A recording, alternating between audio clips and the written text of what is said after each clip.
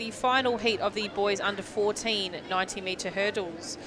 In lane one, we have Xavier from Wangaratta, two, Zach from Brighton, three, Nicholas from Diamond Valley, four, Dylan from Essendon, five, Joshua from Cranbourne, six, Christian from Shepparton, seven, Thomas from Middlesea City, and in lane eight, we have Oscar from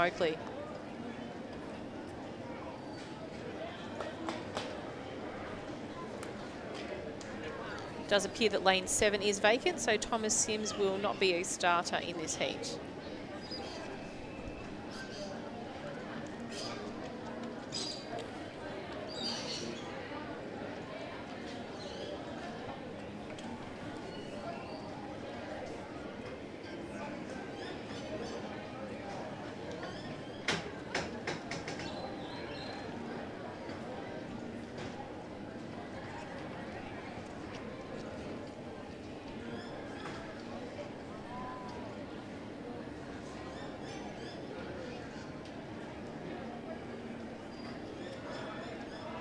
Nice clean start in this race. It does look like the centre of the field is going to take this out, which is Joshua Sullivan from Cranbourne.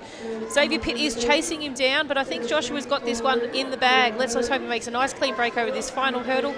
Unofficial time of 13.70. Second place, Xavier Pitt from Wangaratta. And in third, Diamond Valley, Nicholas Chan.